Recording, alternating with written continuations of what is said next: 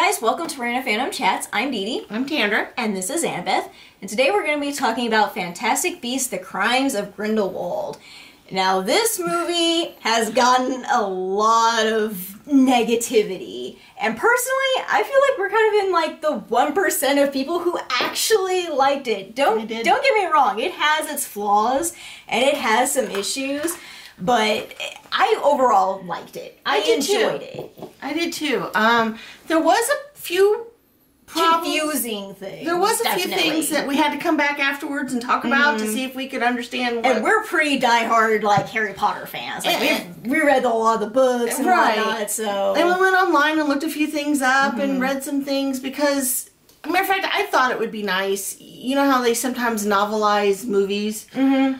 I thought it'd be nice to actually have the novel to the I, to I read. expected them to, and they do not. They, They have do not. the screenplay in book form that you can buy, but they don't have like an actual novelization of it, They which don't. I feel like is a mistake. I feel I- like it would do really good. I would love to read a novelization of it because sometimes you can pick up on some things that's hard to tell in the mm-hmm. movie. J.K. Rowling wouldn't even have to write it herself. She could get somebody to ghostwrite it for her. I wouldn't even mind that, but I wouldn't mind to even read the screenplay might help because a lot of times there's directions or other things in it that help you know mm-hmm. some things that you know the movie itself can't convey. right.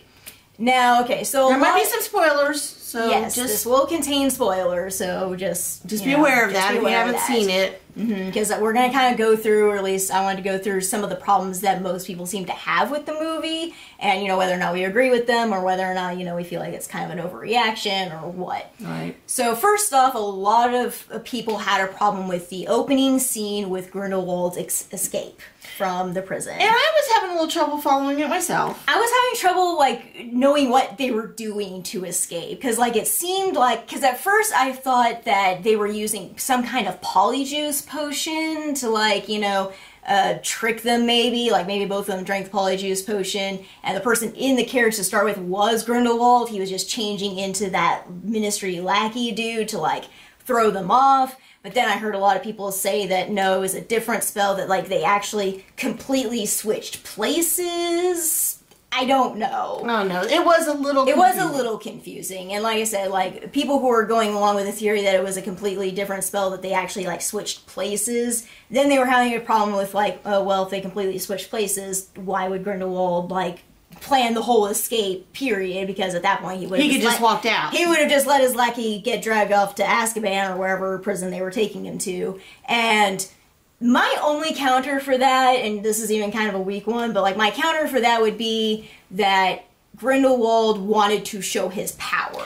And it does seem a little bit like he was having fun doing that. Yeah, because he he is a person that is very you know he's grandiose. He wants people to know that he is this powerful and he can do this, and not even the ministry or the MACUSA can Right. contain him. So that's kind of the counter I would come up with Right. to you know say, well, yeah, it's kind of a flimsy thing, but like you know maybe that's what they were at least trying to do. Maybe they didn't do it very well with how they executed in the movie, but that could be what they were trying to do with What it. was some of the other things that uh, people were having problems with? A lot of people had problems with like they felt like the movie overall dragged, and they especially didn't like the scene in Newt's house, like when he was going through and like doing his stuff with the Kelpie. Is that the sea beast? Is that is that the Kelpie? I think so, I think yeah. that's the Kelpie. I believe so.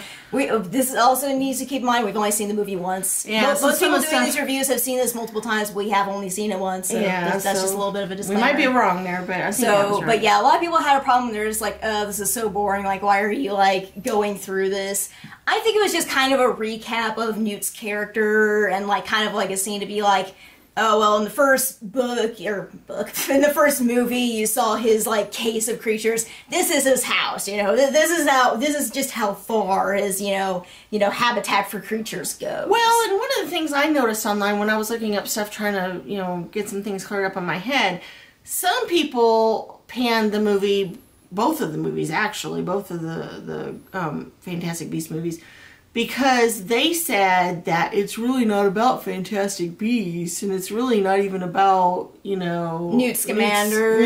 but Like the first one was a lot more, but it is seeming to like shift a lot more of its focus towards Grindelwald. And, And it's like, okay, so it was based on a book that everybody recognized, and she's got a character in there Mm-hmm. that supposedly wrote that book. And I, I think that's a fair It's a criticism. fair point, but they did show a lot of Fantastic Beasts. yeah, well, or like at least three or four of them anyway. Yeah, well, like they always try to seem to incorporate the Fantastic Beasts into the plot of it. Like you know, the beasts like help them out of scrapes, or like Or the Niffler them. did something, Yeah. or got something important. I or- feel like they could probably could have done that better in the Crimes of Grindelwald. Like I felt like that kind of fell short a little bit, and they could have done a little bit more to incorporate that better. So that that is a fair criticism. I, I will say that's. But on the fair. other hand, as a Harry Potter story, just in general from the Yeah. universe, I enjoyed it. oh yeah, it was really good. And like you said, his house, yeah, I thought it was just a fun scene to look at. Yeah, it was just a fun scene. Not every scene has to be like a phenomenal thing. Like I know that people say like every scene has to have some kind of purpose, but I felt more it was more of like a character development purposes. Mm-hmm. Like it was it was like uh re-getting you familiar with Newt's character. Yeah, who he is, what he's like, what he does. and like I said, it was just a like you said, it was just a fun, cool thing to see, you know, visually. Um, did you notice anything? There was a couple things later on in the movie when they're bringing up. Of course, it's towards the end where they're bringing up uh, the boy and, and explaining who he is. Yeah, that whole scene towards the end where they were like explaining, like, oh, well, he's, you know, Lestrange. No, he's not because she switched the babies and their cribs and whatnot. I kind of felt that whole scene was a little info dumpy. Like, I felt it was kind of like they could have leaked some of this stuff in. Uh, or trickled in a little bit better earlier on in the movie. That way we could digest it a little bit better. Maybe. Maybe also it's kind of hard to know who is. I mean, he's supposed to be some sort of Dumbledore. We're not sure which one, who, how. We're looking at ages. supposedly a lot of people and i'm kind of in this boat i kind of think that grindelwald is just flat out lying in order to control credence That's quite possible.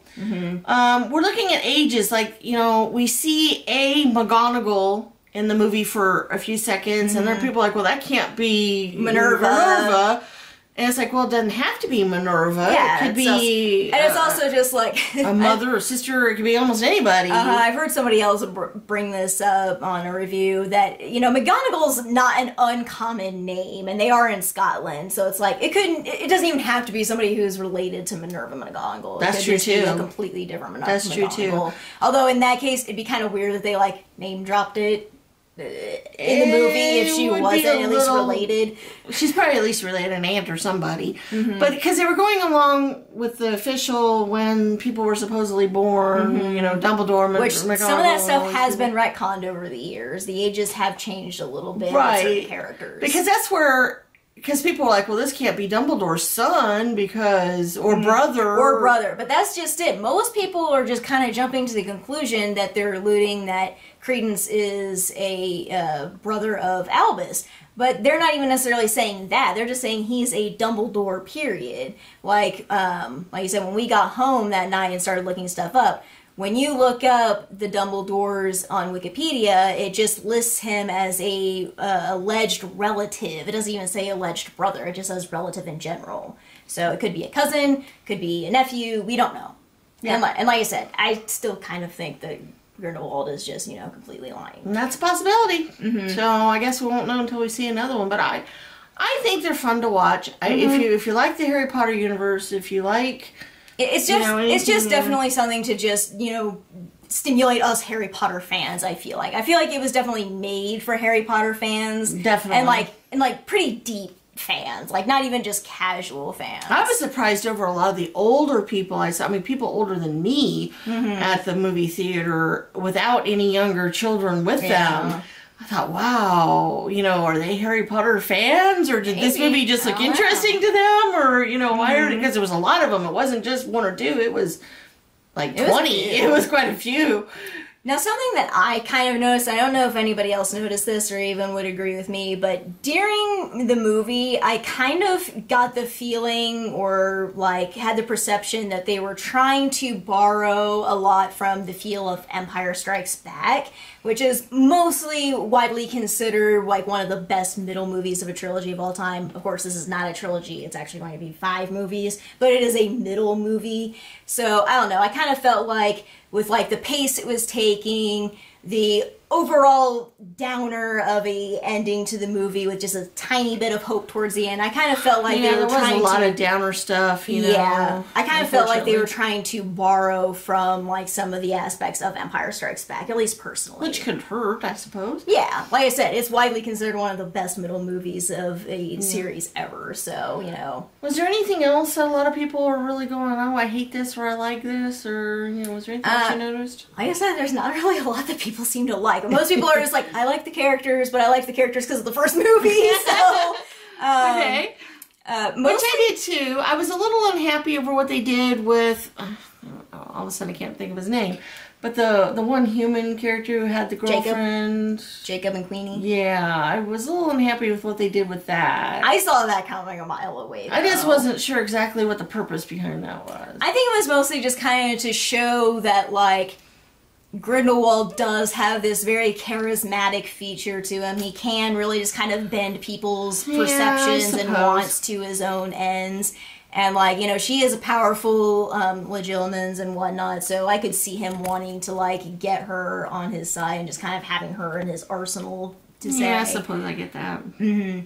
So, s- some people were criticizing Grindelwald's character, period, just because he seemed like a very like um politically right type person, and the things he was doing. But it's like that was supposed to be his character. Yeah, that's so I, what he I don't understand why that is a point of criticism for some people. Yeah, that was what he was always that about. was what he was supposed to be and i felt like they actually showcased his ability to kind of like change people's fears and perceptions and use them to his advantage i felt they actually presented that very well and i'm actually kind of liking him as a villain just a smidge better than voldemort oh yeah, because he's got more charisma. He's got more charisma and like he is modeled after a lot more real life villains. I feel like a lot more, yeah, or So- even just people that we would just just a politician we would know. yeah, right. Uh, I so I feel like he's a little yeah. bit more realistic and like you know, like I he emulates more people in history from that point of view. Which I guess Voldemort was like that at first, and then he just mm-hmm. became pure evil. Which maybe Yeah. maybe and by that point, because we were seeing him after he already got all those followers and used his charms and whatnot. So Right. Voldemort was supposed to be that type of person too. We just didn't see that as Right. much, which made sense for the time period the story took place. Right.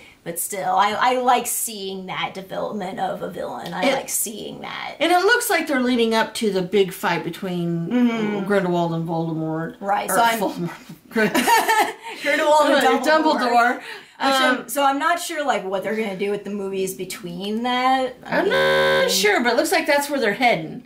I personally feel Um, like this series would have been a lot better if it was a trilogy. I mean, they could pull it off for five movies. Well, they're We'll still way back see. in the thir- 30s, and, and the fight's supposed to happen like in 45 or something. Mm-hmm, yeah. So there's a lot that could happen in between where he could really start rising to power and Mm-hmm. really come to a head where, where Dumbledore's really going to have to do something. Now, one final thing I did want to point uh, touch on that I actually do have a criticism for the movie is what is the deal with that weird skull bong thing that he has, Grindelwald, that he was using throughout the movie to like see into the future? Like, do you remember what I'm talking about? What was that thing? Because it was just kind of there. Like they, they like showed him like using it a couple of times, and then he used it to like project the future of like World War II to Maybe it's supposed to be kind of like a scryer type deal, or And that's or, fine, like, I- know, remember, I can believe you know, that. Not remember all, but the um, like a Pensieve, The future, Pensieve. or like some kind of Yeah. divination tool yeah, or something. it's supposed to be something. Like and that's that. fine. Like I don't have a problem with the uh, object in of itself. I just wish they had had like taken like 30 seconds to explain it. Like all they needed was like a little scene at his hideout where one of his newer followers was like, "Well, what exactly is that thing?" and somebody else was like, "Oh, it's a ancient divination thing that a famous, you know, prophet used to use or something like Something. just, just something simple. Like I just wanted them to take like 30 seconds or a minute to explain it cuz I'm just sitting here like, "What is that thing?" Well, if you don't want to spend money seeing it in the theaters, um, you know, Just wait for just it to wait come for it out to come out Redbox and watch it. I would at Um, least give it a chance. I would go into it knowing that you're going to have to pay attention to a lot of things and you're going to have to do a lot of speculation afterwards and even look up some stuff because like I said, we had to look up some stuff and we're pretty deep Harry Potter fans. So so I would just go into that movie with that in mind. But there was a lot of fun stuff in it. It was kind of an interesting story, and I just like Newt as a character, so yeah. that's So, fun. So, all all right. yeah. Well, thank you for tuning into the channel. If you like us, please subscribe. Put down any suggestions you have of any future videos you'd like to see, and we'll see you next time. Bye.